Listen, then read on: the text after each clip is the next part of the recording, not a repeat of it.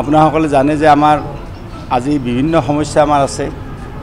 যেনে আজিৰ দিনটোত আমাৰ ক্লাইমেট চেঞ্জৰ কথা আছে গ্ল'বেল ৱাৰ্মিঙৰ কথা আছে। আৰু সেইকাৰণে আজিৰ দিনটোত আমি গ্ৰীণ কভাৰেজ যিটো আমি আমাৰ বাজেটত আমি এইটো কথা চৰকাৰে বাজেটত ঘোষণা কৰিছিল যে আমাৰ গ্ৰীণ কভাৰেজ টু পাৰ্চেণ্ট আমি বৃদ্ধি কৰিব লাগিব। এতিয়া থাৰ্টি ছিক্স পাৰ্চেণ্ট আছে সেইটো থাৰ্টি এইট পাৰ্চেণ্টলৈকে আমাৰ গ্ৰীণ কভাৰেজটো আমি লৈ যাব লাগিব। আৰু সেই হিচাপত আমি গ্ৰীণ কভাৰেজটো টু পাৰ্চেণ্ট কৰাৰ কাৰণে আমি আগন্তুক আমাৰ যেতিয়া আমাৰ গছবিলাক ৰোৱা হ'ব গতিকে এতিয়া তেতিয়া বৰষুণটো লাগে গছ গছ থাকিলে। গতিকে মাৰ্চৰ পৰা আমি এই বৃক্ষৰোপণ কাৰ্যসূচী আমি আৰম্ভ কৰিম। আৰু সেইকাৰণে আমি অসমৰ বিভিন্ন ঠাইত আমি ডাঙৰ ডাঙৰ নাৰ্চাৰী কৰাৰ কাৰণে আমি প্লান কৰিছোঁ। আমাৰ কেম্পাৰ পৰাও কেম্পা যিটো আমাৰ প্ৰজেক্ট আছে তাৰ পৰাও আমি নাৰ্চাৰী কৰাৰ প্লেন কৰিছোঁ। আৰু আমাৰ যিটো ফ্ৰেঞ্চ প্ৰজেক্ট আছে সেই ফ্ৰেঞ্চ প্ৰজেক্টৰ পৰাও আমি নাৰ্চাৰী কৰাৰ কাৰণে আমি প্লেন কৰিছোঁ। আৰু এছ অ' পি ডিৰ পৰাও আমি এই ধৰণৰ ব্যৱস্থা আমি গ্ৰহণ কৰা গ্ৰহণ কৰিছোঁ। গতিকে আমি ভাবোঁ যে এই নাৰ্চাৰীসমূহৰ পৰা আমাৰ ৰাইজেও গছ বৃক্ষৰোপণ কৰিব পাৰিব আৰু আমাৰ বিভাগেও বৃক্ষৰোপণ কৰিব পাৰিব। গতিকে আমাৰ গ্ৰীণ কভাৰেজটো বঢ়োৱাটো আজি সকলোৰে কাৰণে আজিৰ দিনটোত এটা ডাঙৰ বিষয় হৈ পৰিছে। গতিকে আমাৰ আগতে অসমত আমাৰ এনেকুৱা আছিল যে আমাৰ গ্ৰীণ কভাৰেজ আমাৰ বহুত বেছি আছিল। আজি অৰুণাচল প্ৰদেশত গ্ৰীণ কভাৰেজ আছে এইটি ছিক্স পাৰ্চেণ্ট আছে আজিৰ দিনটোত। গতিকে আমাৰ অসমত আগতে গ্ৰীণ কভাৰেজটো আমাৰ বহুত আছিল। কিন্তু অসমৰ আমাৰ যিখিনি জংঘল এই জংঘলত আমাৰ কাঠ যথেষ্ট পৰিমাণে কাঠ কটাৰ কাৰণে আমাৰ গ্ৰীণ কভাৰেজটো বহু পৰিমাণে কমি গৈছে।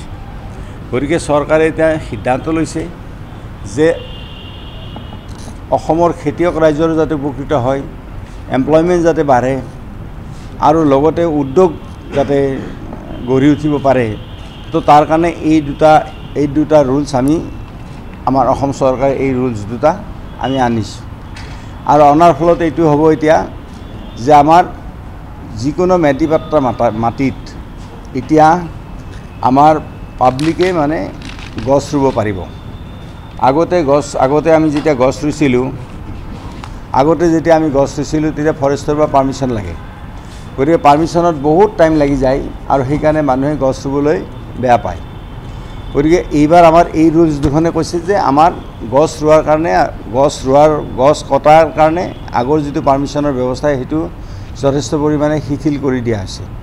গতিকে আগত আমাৰ এনেকুৱা আছিল যে আমি গছ যদি ৰুওঁ গতিকে গছডাল কাটিবলৈ হ'লে নিজৰ ম্যাদী পাত্ৰাৰ গছ গতিকে তাত বহুখিনি নিয়ম কানুন আছিল আৰু ৰাইজৰ কাৰণে অসুবিধা হৈছিল আৰু পাৰ্মিশ্যন তেওঁলোকে বহুত সময়ত নাপায়।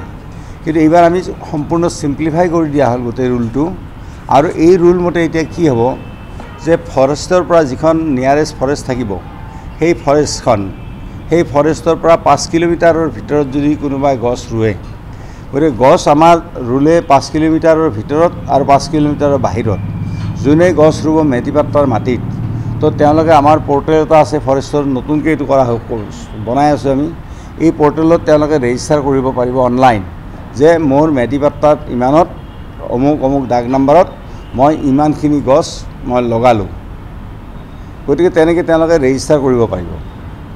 আৰু ৰেজিষ্টাৰ কৰাৰ পিছত গছ যেতিয়া ডাঙৰ হ'ব যেতিয়া কাটিব লাগিব গছ তো তেতিয়াহ'লে যিসকলে ৰেজিষ্টাৰ কৰিছে তে তেওঁলোকে কৰিব তেওঁলোকে ফৰেষ্টৰ পাঁচ কিলোমিটাৰৰ ভিতৰত যদি গছ গছ ৰুইছে তো তেতিয়াহ'লে এইটোত আমাৰ মানে পোন্ধৰ দিন সময় এইটোত লাগিব মানে এটা মানে বস্তুখিনি চোৱাৰ কাৰণে। কাৰণ কিয় কিছুমান হয়তো ফৰেষ্টৰ গছো হ'ব পাৰে। গতিকে ফৰেষ্টক টাচ নকৰাকৈ গতিকে ৰাইজে এতিয়া খেতি কৰিব পাৰিব।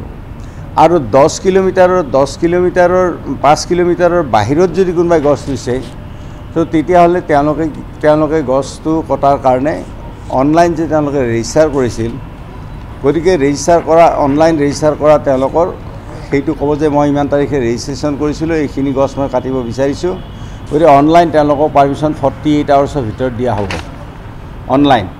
আৰু ফৰ্টি এইট আৱাৰ্ছৰ ভিতৰত যদি পাৰ্মিশ্যন ফৰেষ্ট ডিপাৰ্টমেণ্টৰ পৰা নাপায় তেতিয়াহ'লে এইটো ডিম পাৰ্মিশ্যন বুলি ধৰা হ'ব তাৰমানে আপোনালোকে এইটো পাৰ্মিশ্যন পাইছে বুলি ধৰা হ'ব আৰু তেওঁলোকে গছটো কাটিব পাৰিব। গতিকে সেইটো এটা কথা আছে। দ্বিতীয় কথা আছে যে উইদিন ফাইভ কিলোমিটাৰ্ছ হ'লে আমি সেইটো কাৰণে পোন্ধৰ দিন টাইম লাগিব। এইকাৰণে পোন্ধৰ দিন টাইম লাগিব যাতে ফৰেষ্টৰ গছ তাত সোমাই নাযায়। গতিকে এইটো এটা ভেৰিফিকেশ্যন কৰিব লাগিব। Within five kilometres of from the forest beyond five kilometres forty eight আৱাৰ্ছৰ ভিতৰত প্ৰমোশ্যন মানে পাৰ্মিশ্যনটো আপোনাৰ সকলো আমাৰ সকলো ৰাইজে পাব। আগৰৰ ক্ষেত্ৰত আমি দেখা যায় যে আগতে আমাৰ অকল হোজাই টাউনখনক কেন্দ্ৰ কৰিয়েই আচলতে আগৰ গোটেই আগৰ বিজনেছটো হৈছিল। আৰু আমাৰ উজনি অসমৰ পৰা বহুত ঠাইত তাৰমানে আমাৰ গোলাঘাট তাৰপিছত যোৰহাট শিৱসাগৰ তিনিচুকীয়া এইবিলাক অঞ্চলত বহুত পৰিমাণে আগৰ গছ হয়।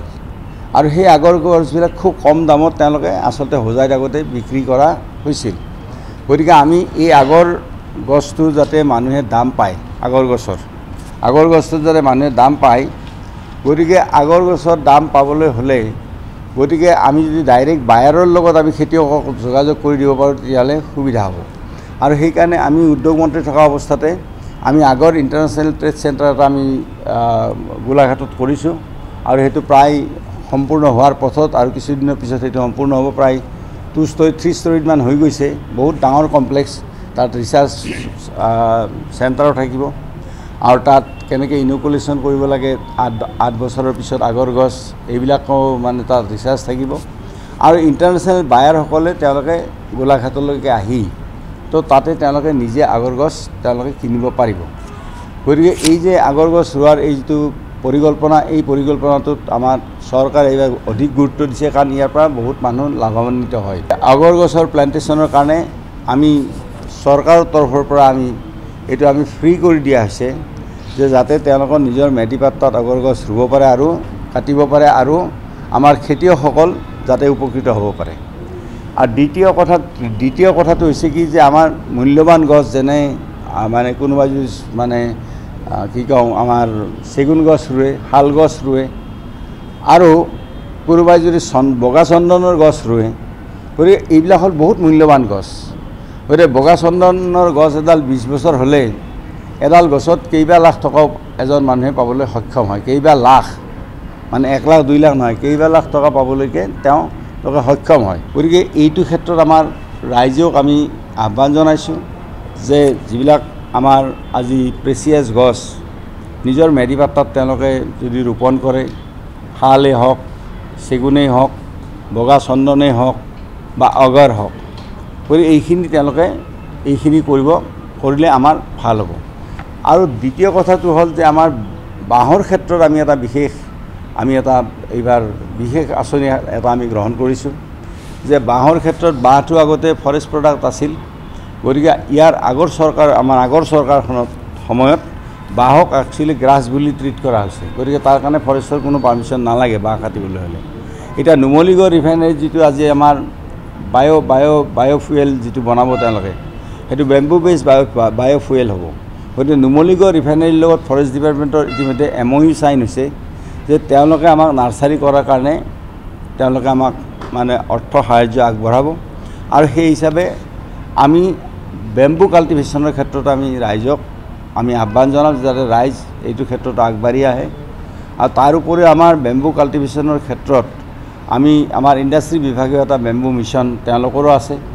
গতিকে আমাৰ যোৱাবাৰ আমি ইণ্ডাষ্ট্ৰী মন্ত্ৰী থকা অৱস্থাত প্ৰায় বহুত হেক্টৰ মাটিত আমি এই বেম্বু প্লাণ্টেশ্যন আমি কৰিছিলোঁ। এতিয়া ডাঙৰ হৈ গৈছে এইবিলাক টিচু কালচাৰ মানে কৰি পেলাই কৰা হৈছিল। সৰু সৰু পুলি হয় টিচু কালচাৰৰ জৰিয়তে গতিকে আমি সেই টিচু কালচাৰ লেব এটা আমাৰ জালুকবাৰীত আছে।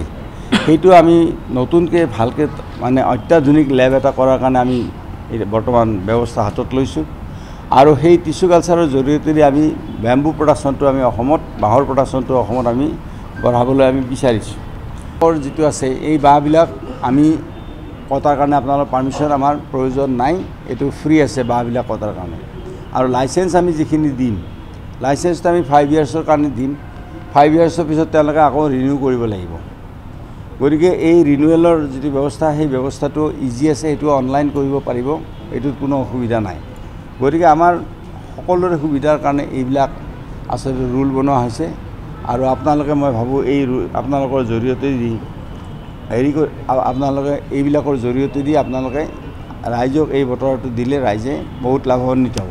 হ'ব আৰু বগা চন্দন যিটো আছে আমি বগা চন্দন এতিয়া নাৰ্চাৰী কৰি আছোঁ। আমি ইতিমধ্যে আমাৰ কৰ্ণাটকৰ পৰা আমাৰ চিড আনিছে। চৰকাৰ কৰ্ণাটক গভৰ্ণমেণ্টে আমাক এই চিড জমা দিছে। আমাক চিড ছাপ্লাই কৰিছে। আৰু এতিয়া ভাল চিডৰ কাৰণে আমি কেৰেলাৰ লগত যোগাযোগ কৰি আমি কেৰেলাৰ পৰা কিছু চিড অনাৰ ব্যৱস্থা কৰিছোঁ। গতিকে এই বগা চন্দনৰ নাৰ্চাৰীৰ পৰা ৰাইজক আমি নাৰ্চাৰী নাৰ্চাৰীৰ জৰিয়তে দিওঁ অসমৰ ৰাইজ বহু পৰিমাণে উপকৃত হ'ব।